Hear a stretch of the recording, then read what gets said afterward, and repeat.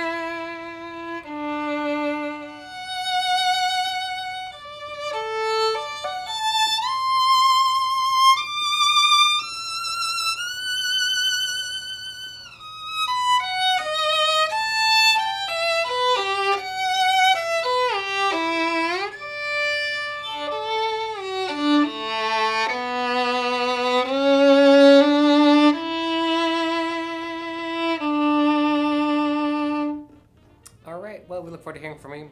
For everybody else, if you're watching this, you'd like to learn more about the Fiddlerman Soloist or the Holstein Traditional Red Mendelssohn, I just follow the links you see here below. They're at the end of the video too. Thanks so much, and we look forward to seeing you at fiddlershop.com. I hope that was informative and helpful. Yeah, if you want to buy this product, just click right up here. Right Do there. it. There, we do would it. also love it if you subscribe to our channel so we can keep in touch. It's right over there. And if you want to learn more about us, click right here. Ba-da-ba-ba, Fiddlershop.